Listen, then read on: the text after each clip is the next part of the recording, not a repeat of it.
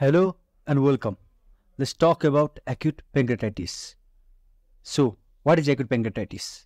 Acute pancreatitis is defined as an acute condition presenting with abdominal pain and is usually associated with raised pancreatic enzyme levels in the blood or urine as a result of pancreatic inflammation. Now, pathogenesis. The underlying mechanism of the injury in pancreatitis is thought to be premature activation of the pancreatic enzymes within the pancreas leading to a process of autodigestion. Anything that injures the acinar cell and impairs the secretion of the zymogen granules or damages the duct epithelium and thus delays the enzymatic secretion can trigger acute pancreatitis. Once cellular injury has been initiated, the inflammatory process can lead to pancreatic edema, hemorrhage, and eventually necrosis. Now, classification. It may be acute interstitial edematous pancreatitis, acute necrotizing pancreatitis. Now, etiology or causes of the acute pancreatitis. It may be gallstones, alcoholism, post-ERCP, abdominal trauma, following biliary, upper gastrointestinal or cardiothoracic surgery, ampullary tumor or drugs. Hyperparathyroidism, hypercalcemia, pancreas divisum, autoimmune pancreatitis, hereditary pancreatitis, viral infections, malnutrition, scorpion bite and idiopathic. Now, clinical features. These include pain which develops quickly and reaches maximum intensity within minutes, persists for hours or even days, and frequently severe, consistent and refractory to the usual doses of analgesics. It is diffusely throughout the abdomen and radiates to back in 50% of the cases. It is relieved by sitting or leaning forward nausea, repeated vomiting and retching, cough and fever may be present. On examination, appearance may be well or extremely ill.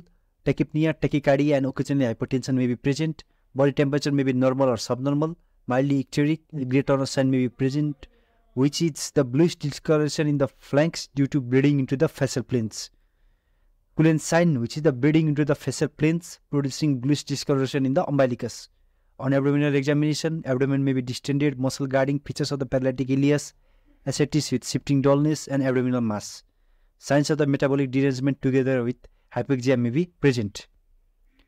Pleural pulmonary edema and pneumonitis may be present. Now, investigations. Routine blood examination may be done. Serum amylase, which is three times above the normal. Serum lipase, which is more specific and after longer rites. Urinary amylase, LFT, blood glucose, which shows hyperglycemia, serum calcium level, which shows hypercalcemia. plain X-ray, a generalized or localized ileus causing sentinel loop may be seen, a colon cutoff sign may be present, a renal halo sign may be present, and the air fluid level in the duodenum may be present. Obliteration of the Schwarz shadow, localized ground glass appearance, calcified gallstone and pancreatic calcification usually seen. Chest X-ray reveals pleural effusion, diffuse alveolar interstitial shadowing in ARDS and ultrasound scan reveals uh, poor visualization in 25 to 50% of the cases. CT scan can be done, CCT also can be done, ERCP and MRCP can be done for identification and removal of the stones, and laparotomy can be done if clinically cannot be diagnosed. Now, treatment.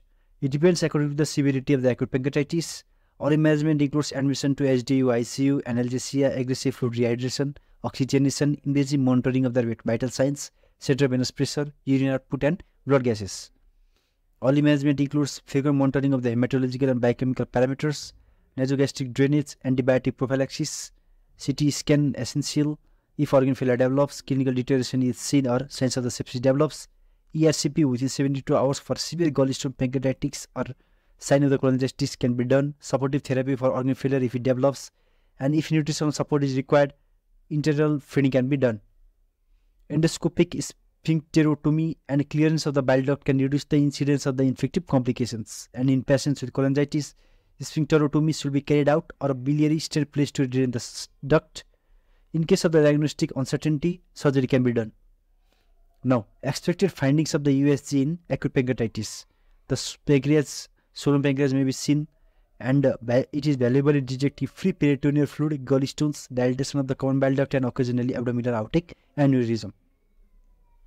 Assessment of the severity of the acute pancreatitis can be done with Ranson and Glasgow scoring systems or Apache, SAPS, SOFA, MODES, and modified Marshall scoring system.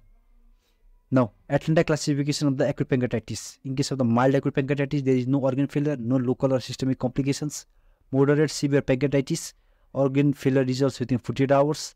local or systemic complications without persistent organ failure.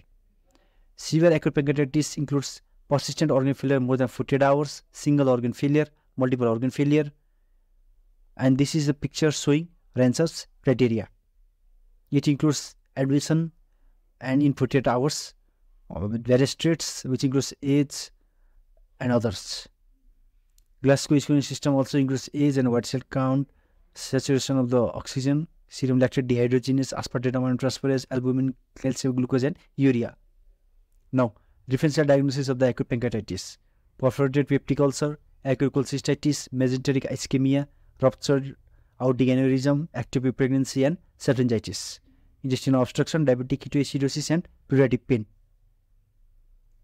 Complications of the acute pancreatitis includes local complications like acute fluid collection, sterile pancreatic necrosis, infected pancreatic necrosis, pancreatic abscess, pseudocyst, pancreatic ascites, pleural effusion, portal or splenic vein thrombosis, pseudoaneurysm, and systemic like cardiovascular including shock and arrhythmias, acute respiratory distress syndrome, renal failure, and DIC. Metabolic includes hypocalcemia, hyperglycemia, hyperlipidemia, subcutaneous fat necrosis, arthralgia, ileus, vascular disturbances, confusion, and irritability. The fluid metabolic, hematological, and biochemical changes in the acute pancreatitis includes hypovolemia, hypoalbuminemia, hypocalcemia, and uh, total rest count, along with neutrophilia. Hypochloremic metabolic alkalosis may be seen due to repeated vomiting, reduced insulin secretion, increased glucagon, and catecholamine secretion may be seen, hyperbilirubinemia, hypertriglyceridemia, and methemalbuminemia may be seen. End of the topic.